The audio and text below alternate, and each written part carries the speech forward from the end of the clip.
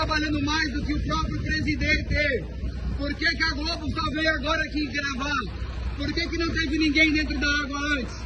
Por que, que vocês não estiveram com a gente dentro desse resgate? É, mostrar virtude, solidariedade ao povo do Rio Grande do Sul. William Bonner da mesma forma, porque no dia que teve um, das, um dos piores dias da história do Rio Grande do Sul, o Jornal Nacional, o maior, talvez, meio de comunicação de TV aberta do nosso país, ignorou as mortes, ignorou por completo. Fecharam o Jornal Nacional com um sorrisinho no rosto. Vocês vão a- controlar seus imbecis que moram nas suas casas, que a gente tá fora de controle. Vocês não mandam em nada aqui. Vocês vão ser desmascarados em tudo. Cuidado, porque os brasileiros perderam voz, tem que vir um cara mais rico do mundo para falar o que tá acontecendo. Os brasileiros perderam vozes, agora tem que vir advogada, advogada não, parlamentar americana para falar o que tá acontecendo. Cadê Bom, o pessoal, o bambu tá gemendo, o negócio tá dando ruim pra TV Global, né? Eles postaram uma fake news e acabou acusando o Pablo Marçal de fake news. E aí o povo se revoltou, a Rede Global foi lá tentar fazer uma matéria, o povo tentou expulsar os caras de lá. O negócio tá numa reviravolta gigantesca. Perderam a confiança, tanto o governo como a Rede Global, né? A tendência é o buraco para esses caras aí.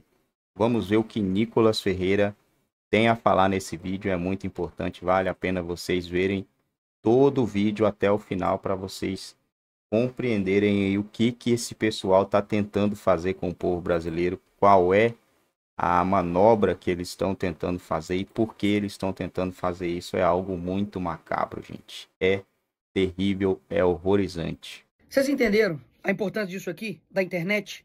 Porque se não fosse a internet, mais uma vez a Globo mentiria para todo o Brasil, um país inteiro. Porque ontem eles colocaram essa manchete aí, mobilizando a AGU e Polícia Federal, o governo Lula, que acredito que não deve ter aí outras prioridades, para poder investigar aí pessoas por fake news, dizendo que estava precisando de nota fiscal para poder receber doações lá no Rio Grande do Sul. Pois bem, processaram Cleitinho, processaram Eduardo Bolsonaro, pro- processaram Pablo Massal, Fernanda Salles, entendeu? Tiago Asmar, diversas pessoas. E aí eu te pergunto, olha o que aconteceu, meus senhores. Passou-se horas dessa manchete. A reportagem do SBT demonstrou que era verdade a denúncia. Caminhoneiros e voluntários que levam doações são parados em fiscalização e multados. Hoje, o governador Jorginho de Santa Catarina mostrou também que era verdade a denúncia, ou seja, Paulo Pimenta, ministro, você irá se retratar? A Globo irá se retratar por isso? Claro que não, claro que não, porque a Globo é um câncer. Mas isso aqui é mais uma prova para mais uma vez o povo brasileiro ver que se não fosse a internet, nós não veríamos os voluntários trabalhando, a gente não veria as denúncias que estão sendo feitas, não teria toda essa mobilização aqui de doações, de engajamento para poder ajudar as pessoas com cobertores, com água potável, de encontrar é, outros parentes. Isso não aconteceria. Se depender do governo, esses caras estão preocupados em perseguir o opositor político, ao invés de estar fazendo um, um centro de abrigo para que as pessoas que estão ali desabrigadas, eles estão muito mais preocupados ah, em, em- em tirar foto lá no meio da, da catástrofe do que simplesmente irem lá e, de fato, é, colocar os recursos, como, por exemplo, do fundão eleitoral. Eu assinei um, um- um projeto para poder destinar 50%, deveria ser 100, né? Mas não, mas não pode, que é tudo muito burocrático, né? Para poder ajudar o povo. É, para poder destinar o fundo eleitoral para essas pessoas. Mas, mas não, né? É, tem dinheiro para as viagens do Lula, 3,3 bilhões. Tem dinheiro para pagar artista com 16 bilhões para a Lei Rouanet. E aí eles falam que 350 milhões foi para o Rio Grande do Sul. É, realmente, cara, se não fosse a internet, imagina onde nós estaríamos. Se depender do governo e dessa mídia escrota, mentirosa. Inclusive, a repórter da- do SBT, é, agora, né, hoje, bicho, ela chorou porque é, nesse período de tempo, até se comprovar que era verdade, ela sofreu uma enxurrada de cancelamentos, falando que ela não era jornalista, que ela era mentirosa. Olha só o que essas pessoas estão fazendo, ou seja, lógico que eles não irão se retratar, mas aqui fica mais uma vez comprovado que a Globo é um câncer para o nosso país, é puxadinho de imprensa do governo Lula e eles estão zero preocupados de fato com as pessoas. E para poder finalizar esse vídeo aqui com uma boa notícia, é de que a, a gente conseguiu uma parceria junto com a Minas Bev, uma empresa de Caxambu aqui de Minas Gerais, para destinar aí toneladas de água potável, vamos destinar para sete pontos específicos. A gente também tá conseguindo receber diversas demandas aqui no gabinete, no meu Instagram, para encontrar pessoas, uh, de, de, destinar recursos, divulgar aí os, os, os vários uh, uh, arrecadações que várias pessoas aí é, é, estão fazendo, ou seja, nós estamos mobilizando. Eu, inclusive, externei o meu desejo de dedicar tudo ou boa parte da, do, do, dinheiro que a comissão de educação tem, mas é óbvio, né? É tudo muito burocrático, é tudo muito difícil para poder ajudar as pessoas. Fácil mesmo é destinar um, uma grana ali para o dinheiro da, da Madonna, né? Que, inclusive, agora o Luciano Huck, por exemplo, é, acordou no outro dia junto com a Angélica e falou: opa, esquecemos, temos que é, mostrar virtude, solidariedade ao povo do Rio Grande do Sul. William Bonner da mesma forma, porque no dia que teve um, das, um dos piores dias da história do Rio Grande do Sul, o Jornal Nacional, o maior, talvez, meio de comunicação de TV aberta do nosso país, ignorou as mortes, ignorou por completo. Fecharam o Jornal Nacional com um sorrisinho no rosto. E agora o William Bonner coloca uma blusa preta, né? É, vai ali para frente do, do, do, das enchentes para poder pagar ali de, de virtuoso, né? Afinal de contas, tomou uma enxurrada né, de cancelamento. Inclusive, diversos deputados de esquerda, né, também aí influenciadores, né, umas boca aberta, tipo a Lohana, né, deputada aí de, de Minas Gerais, que comemorou, né, que serão processados por fake news. E agora? E agora, deputado? E agora, Paulo Pimenta? E agora, governo Lula? E agora, GU e PF? Vocês investigarão uh, a Globo e os outros por terem falado que era fake news, só que era verdade? Isso será feito? Claro que não. A gente continua, porque eu tenho certeza que o Rio Grande do Sul precisa agora é de muita ajuda, mas jamais deixaria de mostrar a escrotidão que Globo e governo Lula estão fazendo nesse momento caótico. a Globo dentro da água, tem empresário no Brasil trabalhando mais do que o próprio presidente. Por que, que a Globo só veio agora aqui gravar? Por que, que não teve ninguém dentro da água antes? Por que, que vocês não estiveram com a gente dentro desse resgate? Na hora de botar na mídia é fácil. Depois que tá tudo seco, é vir fácil falar. Pode fazer a proteção que for, irmão. Esse espaço aqui é público. Entendeu? Eu quero entender o porquê que não, não teve nenhum nível de, de presidente para botar aqui. Depois que a cidade começou, o povo de Porto Alegre, o povo do Rio Grande do Sul, todo o estado, o Brasil todo ajudando, aí aparece o pessoal agora para gravar, entendeu? Esse serviço lixo, esse serviço lixo, não temos nada a perder. Você vai ficar quieto porque é o teu papel. Você defende o pessoal que não está ajudando a causa. A Globo estava transmitindo Madonna enquanto o gaúcho estava debaixo da água. Canoas estava debaixo da água. Pessoas morreram enquanto a dona, a, a dona, a, a Janja, ela estava lá vendo a Madonna. Enquanto o Luciano Huck, ele estava fazendo o quê? Pagando pau para a galera da Madonna. Mas o Luciano Hang, que é uma pessoa péssima, ele estava mandando mais efetivo do que o próprio presidente do Brasil.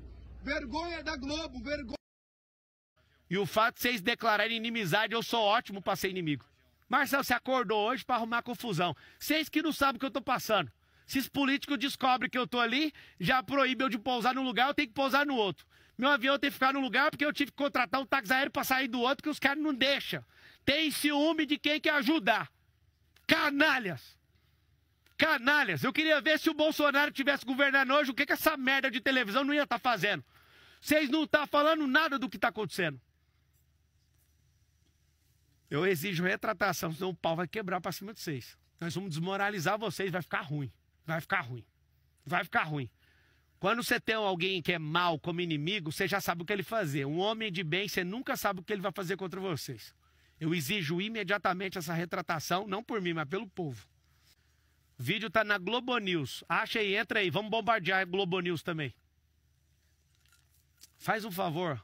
Fale. Fale dessa vagabundagem, dessa reportagem. Então é o seguinte. Todo mundo aqui. É um absurdo o que eles estão fazendo com o povo. Estão escondendo, estão mentindo. As pessoas não deixaram a gente chegar até os barcos. Eles estavam o tempo inteiro reprimindo para ninguém postar nada, nada, nada, nada. Ninguém é bobo. Até descobrir que estava tendo ação, esse povo estava multando os outros, descarregando. Eu tenho muitos outros vídeos. Posso te mostrar os vídeos. Eu não quero confusão, só quero que vocês não atrapalhem. Governo, seus políticos. Político tem que abençoar o pobre e não atrapalhar o rico. Cacete! Só isso que vocês têm que fazer. Lá na Globo News tem um vídeo dessa irresponsável que não faz uma pesquisa no Google. Vocês não gostarem de mim ou vocês receberem para ficar fazendo é, reportagem ao meu respeito, eu já sei que vocês precisam de dinheiro. Eu nunca importei com isso. Vocês falaram merda de mim, fantástico, tá nem aí pra vocês também. Agora, mexer com o povo, eu tô com um tal de espírito público aqui dentro agora. Esse espírito de indignação, eu vou tocar o terror para cima de vocês. Não vai ser como sempre foi. Eu declaro isso na vida de vocês. E vou declarar algo aqui, tá? Na Rede Globo. Em pouco tempo ela vai ser vendida e alguém vai comprar essa Rede Globo e a gente não vai mais permitir que o Brasil seja manipulado por vocês. Fica o recado. Em poucos meses essa Rede Globo vai ser vendida. Vocês não vão prosperar com esse negócio mais, porque o povo não vai dar mais atenção para vocês. O povo brasileiro que estava morrendo afogado transmitindo o show daquela pornográfica. Aquilo é um ritual satânico que estava acontecendo no Brasil e todo mundo sabe o que, que vocês estavam fazendo. Vocês estavam fazendo oferenda com os corpos das pessoas do Rio Grande do Sul. Todo mundo que tem o um mínimo de entendimento espiritual sabe o que estava acontecendo ali naquele lugar. Pode me chamar de doido tanto que foi, eu nunca ia tocar nesse assunto. Vocês estavam fazendo ritual ali e vocês estão fazendo oferenda com o povo. Vocês não estão falando a verdade do que está acontecendo. Vocês não estão. Vocês podem me chamar de doidinho, tanto que for. Vocês que são imbecis e não têm compreensão espiritual. Aquilo nunca foi um show, aquilo é um ritual satânico. Quem tem um mínimo de compreensão das causas espirituais sabe do que, que eu estou falando. Vocês vão ser desmascarados, vocês estão fazendo. Vocês desrespeitaram e mancharam esse povo. O sangue de cada uma dessas pessoas vai ser cobrado por tudo que vocês estão fazendo. Vocês desvalorizaram o povo brasileiro transmitindo aquilo para destruir famílias a Rede Globo de televisão já tirou o vídeo do ar, olha lá pra você ver. Estão afinando, caralho. Menininha de manicure, já vazou daí o vídeo?